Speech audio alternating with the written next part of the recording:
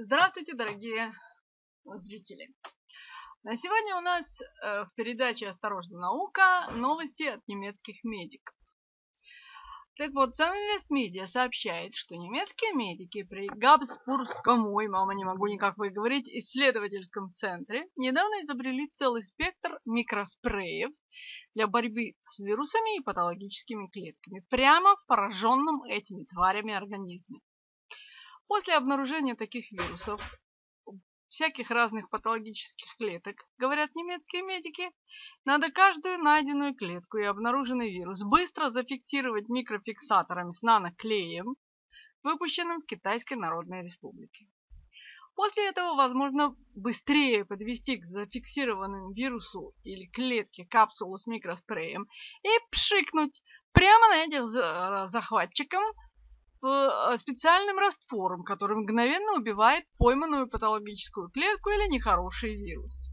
В такой лечебной практике главное не перепутать капсулы со спреем, потому что если сбрызнуть вир... спреем для вирусов на клетку или наоборот, то вы не только не уничтожите этих захватчиков наших организмов, но и подкормите их, и они у вас раскормятся до невероятного размера.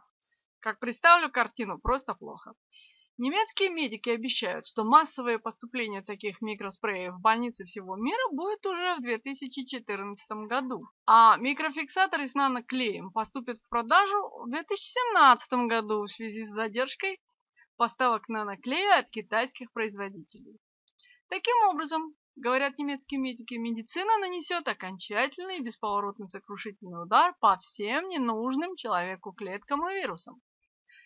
Правда, а, те же медики особенно отмечают, что остальные клетки, нужные нам вирусы, тоже могут быть поражены микроспреем, вплоть до полного летального исхода для всего набора клеток излечиваемого организма.